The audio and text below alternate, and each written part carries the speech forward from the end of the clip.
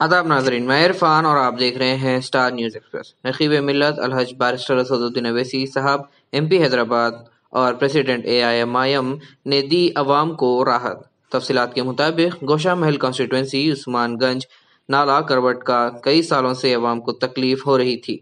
सदर मोहतरम ने principal secretary M and U D जनाब अरविंद कुमार साहब आई ए एस से नुमाइंदगी करके अढ़ाई करोड़ की मदद से H R D C L department में मंजूर करवाई।